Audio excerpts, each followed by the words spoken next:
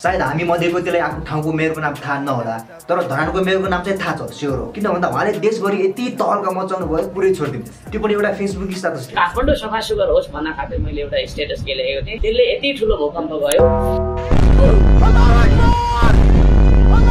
धराने जनताको लागि म केही गर्छु भनेर आउनु भएको छ। त्यो पनि इतिहास बोकेका ठुल्ठुला दलहरूलाई एक्लैले जितेर। त्यो जितको पछाडि कति सङ्घर्ष लुकेको छ त्यो हामीलाई भन्दा भनाइ धेरै थाहा होला। किन भन्दा हामीले त भर्खर चिने आउनु त जितिसकेपछि मिडिया पनि पहिला खासै साथ थिएन। अनि उहाँ कति स्याभेज हुनुहुन्छ भन्ने त हामी सबैलाई थाहा छ। कङ्ग्रेस एमाले लगायतका अन्य माओवादी ठुला दलबाट चाहिँ नियुक्ति भएका कर्मचारीहरू? कुनैको आफ्नो दललाई पनि टेर्दैनन्। मरिगए तपाईँको चाहिँ यो ठाउँमा पानी निकालिदिन्छु समस्या छ। निकालिदिन्छु फेरि उहाँ मल्टी ट्यालेन्ट पनि हो। गीत गजल लेख्छु? अनि देश सोच्न सकौँ म देश बोल्न सकौँ। देशकै कर्म गर्न सकौँ देशकै लागि मर्न सकौँ। कविताहरू पनि लेख्छु होइन। कविता गीत गजल लेख्ने मात्र होइन। गिटार बजाउनुहुन्छ। मादल पनि बजाउनुहुन्छ। बजाउने मात्र हो र सँगै गीत पनि गाउनुहुन्छ। त्यो गीत गाउन सक्नुहुन्छ आज तपाईँ?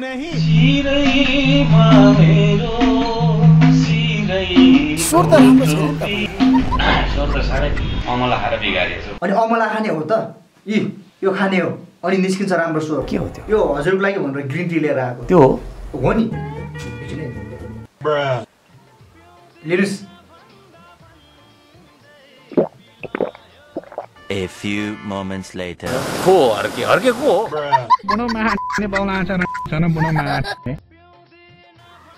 ए यहाँ त। किन के भयो? यो यो यो के हो यो? यो ग्रिन टी हावादारी कुरा गर्नुहुन्छ। कस्तो हावादारी? ग्रिन टी नभएर के बियर हो त? हो नि। हाम्रो मेयर साहबले बियर खानुहुन्छ जस्तो लाग्छ हजुरलाई? राईको छोरो खान्छ नि। म बाहुनको छोरोबाट त कहिले बजाइदिन्छु त्यही त यो बियर मात्र होइन गाँजै खाए पनि केही फरक पर्दैन। नेपाल सरकारले गाँजा बाँड्नुपर्छ। तर घुस चाहिँ खानु भएन राइट कुरा राईको छोरो खान्छ नि। म बाहुनको छोरोबाट त कहिले बजाइदिन्छु अब यसरी गिर ग्रिन टी खान्छु बियर खायो भने आलोचना गर्छ। आलोचना त गरिहाल्छन् नि। सुटी सुटी हजुरको कुरा काट्नेहरू पनि छन् हर्केले इज्जत फ्यालेको देख्दा म त विरक्त लागेको छ त्यस्तो मन पर्थ्यो हर्केले इज्जत फ्यालिसक्यो बस्छ केही भन्ने सोचेको त कुरै काटेर त्यसको दिन जाने भयो। फेरि भन्छ जसले मेरो कुरा काट्छ त्यो भ्रष्टाचारी नेताको झोले हो भन्छ। गदा गदा आफ्नो बाउको उमेरको मान्छेलाई गधा। होइन अनि गिटी बोक्छ पाए बोक्छ फुल रोप्छ त त उसले अर्डर दिने हो नि त। आफू मात्रै गरे त हुन्थ्यो नि ठाउँ। ठाउँका मान्छे बोला बोला ढुङ्गा बोकाउँछ हौ। ढुङ्गा बोकाउँछ हौ। फेरि गएका हेर न रे- उयो चिटर लाउँदै ढुङ्गा बोक्न गएका भेडाहरू काम नपाएर घरमा सुतेर अर्को कुरा काट्नेले जनसन्धान गर्न जाने मान्छेलाई भेडा। लाज पनि लाग्नु पर्ने उहाँले श्रम संस्कृतिको सुरुवात गर्दैछु भन्दै हुनुहुन्छ गए हुन्छ ढुङ्गा बोक्नु। नभए चुप्प लगाएर बस्ने क्या धेरै जान्ने भएर कुरा काट्ने होइन। टप लेभलमा पुगेपछि के काम गर्नुपर्छ भनेर त्यसको दिमाग छैन अलिकति। Control. पढेकै थिएन होला हामीले। समाजशास्त्र र राजनीति शास्त्रमा स्नातक गरेको व्यक्ति हो नि। कस्तो कदर पढेको अरे त्यसले? के पढेछ त? लास्ट बेन्चर होला त पक्कै पनि। हामी जस्तै थियो जस्तो काम गर्नु छैन हावामा करायो बस लेबर काम गर्ने हो केटी तिमीहरूलाई म थुक्छु थुक्छु। Who are you? गदा Who are you? तपाईँ मेयर भइसकेपछि पहिलो यात्रा हो काठमाडौँ तपाईँको। पहिलो यात्रा। किन आउनुभयो काठमाडौँ? राशि बिग्रेको काठमाडौँ चिरेर भने। अनि काठमाडौँ आइसकेपछि उहाँको राशि बिग्रिनुको कारण चाहिँ के हो बाबा प्रचण्डलाई जब भेटिसकेपछि हर्प सामताङ बेग्लै भएका हुन्। त मलाई पनि त्यस्तै लागिरहेछ कतै प्रचण्डले तुना मुना त लगाइदिनु हो भयो बस। बस बिल्कुल गलत। धरानमा हामी धेरै काम गरिरहेका छौँ। उनले गरेको अहिलेसम्मको काम भनेको चाहिँ पकुवा खोलाबाट पानी ल्याउने। पकुवा खोलामा चाहिँ हिउँदमा चाहिँ कमिला तर्छ। काम नगरेपछि विरोध गर्छन्। काम गरे पनि छोड्दैनन् त। के हो यार? म पहिला हर्क साम्पाङको सपोर्टरै थिएँ। भनेपछि पहिला सपोर्टर हुनुहुन्थ्यो। अहिले विरोधी हुनुभयो। किन? के कारण हो भन्नुहोस् त। भन्छु।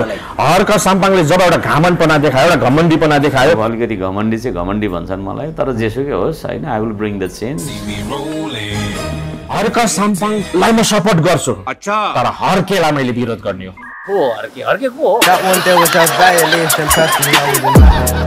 को हर्के उसको व्यवहार हर्के भएको छ कहाँ हर्के भनेर हुन्छ भन्छु म हर्के भन्छु खै कसलाई भने हो हर्क साम्पाङ आज हर्के भएको कारणले हर्के व्यवहारलाई मैले विरोध गरेको विरोधले त हुन त के ख्यास र ख्यास्न त?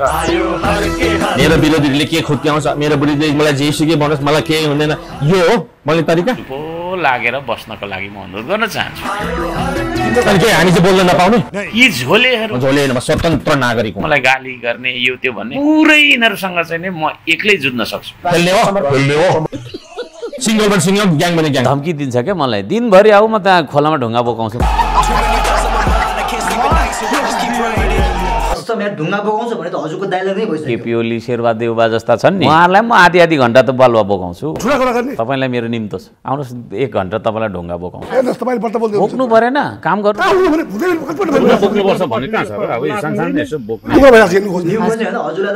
धेरै बोकाउँछ भन्ने हुँदैन के कुरा गर्नुहुन्छ? धरानमा कुकुरले धरी ढुङ्गाको सार्ने रहेछ अनि?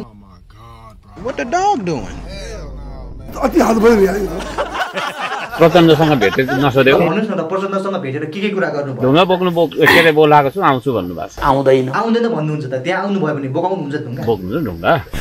ढुङ्गा बोक्नु पाइप तान्ने यस्तो गीत सम्भव छैन। त्यो सम्भवै छैन। त्यो धेरै दिनभरि भने होइन यसो आएर एक मिनट दुई मिनट यसो रमाउने दिउँसै रात पार्न सकिँदैन। अनि हजुरले बालेन दाईको बारेमा के भन्न चाहनुहुन्छ? को बालेन चाहिँ? को बालेन चाहिँ? मालुम नि तेरो चिन्दिन त उसलाई बित्था बालेन को चिन्नुहुन्न? बालेन बालेन भन्छ को बालेन भने? इन्जिनियर हो नि। के इन्जिनियर हो? मिहिनेत गर्ने इन्जिनियर। इन्जिनियरिङ गर्ने मान्छे राजनीतिमा आउने होइन क्या।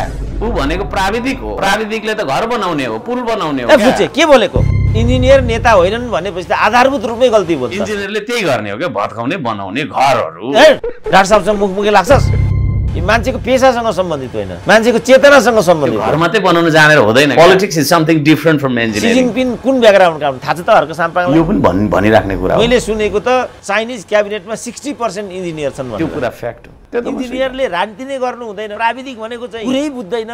भन्ने होइन। सही हो सही प्राविधिकले नीति बनाउन आउँदैन उसलाई काठमाडौँ महानगरपालिका चलाउने नीति त छ नि त हामीसँग। इतिहास पढेको हुनु पर्यो राजनीति भनेको के हो भन्ने बुझेको हुनु पर्यो राजनीति भनेको राज्य चलाउने नीति हो विकास गर्ने हो नि त। विकास भनेको के हो? घर र सडक मात्रै बनाउनु हो कि मान्छेलाई बचाउनु हो?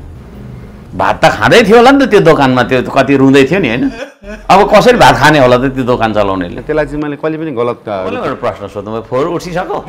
अनि फोहोर नउठाएर के गरिराखेको? म दिनभरि सुतेर बस्छु। म दिनभरि सुतेर बस्छु।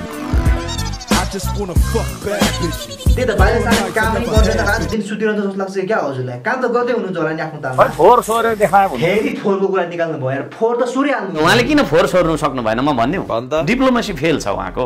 असहयोग गरे भन्नुहुन्छ असहयोग गर्नेलाई त त्यो सहयोग गर्नु गर्ने बनाउनु पर्यो त। सत्यलाई स्वीकार्नुहोस्। फोहोरलाई फोहोर भन्नुहोस् क्या।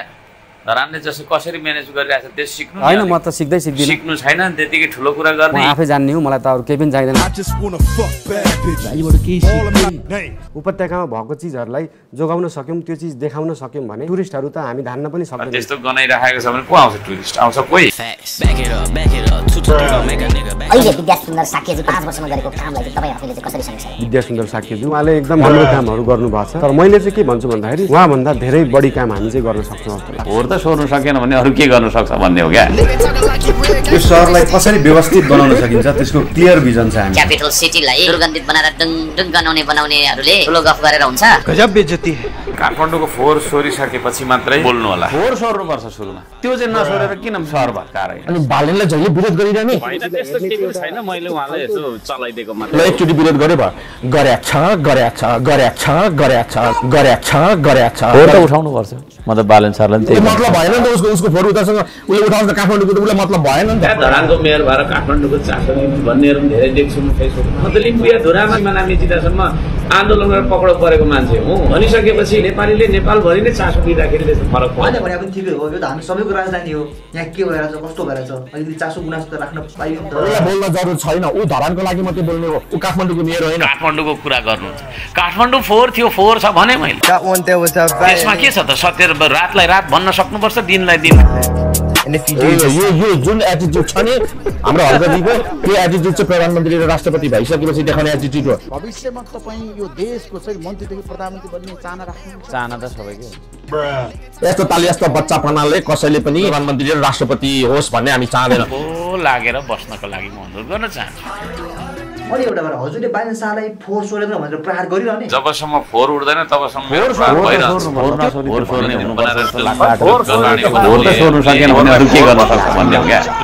धेरै कमेन्ट गरेँ उहाँको बारेमा। तर उहाँलाई एउटा सजेसनको रूपमा जाओस् यी कुरा। उहाँले मलाई क्रिटिसाइज गर्नुभएको भोलिको दिनमा यो चिजलाई चिरेर यो चिजबाट नआत्तिएर बालेले चाहिँ केही गर्छ भन्ने हो। राइट ल अब त्यसो भए यसो उहाँले मादल बजाउनुहुन्छ हजुरले गीत गाउनुहोस्। भन्नु भन्दा हजुर फेरि ऱ्यापर हो यार म ऱ्यापर मात्र होइन ट्रु म्युजिक आर्टिस्ट हो। लोक दोहोरी नै गाउन सक्छु। सही हो त्यसो भए हजुरले मादल बजाउनुहोस् उहाँले गीत गाउनुहुन्छ।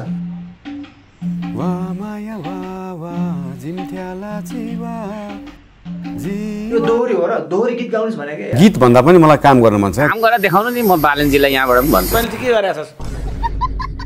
बोल्नुहोस् न। तिन महिनाभित्र त हामीले चार ठाउँबाट पानी जोडिसक्यौँ। फेरि नगरपालिकाको एक रुपियाँ बजेट नचलाएको फेरि। जनप्रतिनिधि भनेको त यस्तो हुनुपर्छ अनि मलाई दिनु पर्यो भने सयमा कति नम्बर होइन दिनुहुन्छ मैले त अस्ति बत्तिस नम्बर त दिएको थिएँ। बढ्दैछ उसको पैँतिस जति पुगिरहेको छ र बालनको? बालनको त जिरोबाट पनि तल झर्दैछ होइन अहिले जज गर्न मिल्दैन उहाँहरूको कार्यकाल सुरु भएको त भर्खर भयो तिन चार महिना। फुल प्लेजमा दुवैजना काम हेर्न पाएको भए पो मूल्याङ्कन गर्ने होइन पाँच वर्षसम्म फुल्ली काम गर्न दिउँ अनि बल्ल जज गर्न मिल्छ क्या? यसले यति काम गर्यो यसलाई यति नम्बर यसलाई यति भन्छ तपाईँले मलाई पढाउने।